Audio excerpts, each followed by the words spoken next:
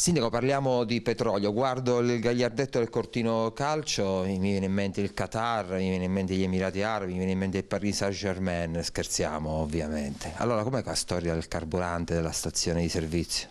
Allora, guarda Giancarlo, tagliamo subito la testa al toro, ci tengo a dirlo. È un errore e me ne assumo tutte le responsabilità perché io sono alla testa della macchina amministrativa e mi sembra giusto assumere la responsabilità di questo. Però da qui a dire che insomma c'è stato un furto per me ce ne passa tantissimo anche perché se avessimo voluto fare questo probabilmente avremmo aumentato il prezzo cinque giorni prima. Dove ci sono state scene di ordinaria follia? Di ordinaria follia, gente che è venuta a caricare con le taniche.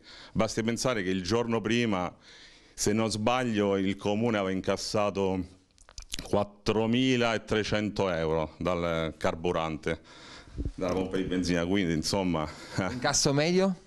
L'incasso medio, io ti posso parlare ecco, di annualità, eh, l'annualità è, nel 2021 sono stati ordinati 100.000 litri, che con ricarico, come dice Minosse, di 4 centesimi fanno 4.000 euro l'anno. E lo sconto poi ai residenti? Ecco, questo è, è, mi preme sottolineare questa cosa, perché eh, Minosse cita il regolamento redatto da lui, un po' a, a suo piacimento, ma eh, lo porto qui e l'ho anche sottolineato, ci deve anche spiegare il perché i cittadini, i residenti nel comune di Cortino, i possessori delle abitazioni non hanno mai usufruito della benzina a prezzo di costo cosa prevista dal regolamento. Diciamo che c'è stata un po' di, di, disattenzione in quel periodo, come c'è stata un po' di, di disattenzione esatto, in questo periodo. Esatto, probabilmente la verità è una, è che la pompa di benzina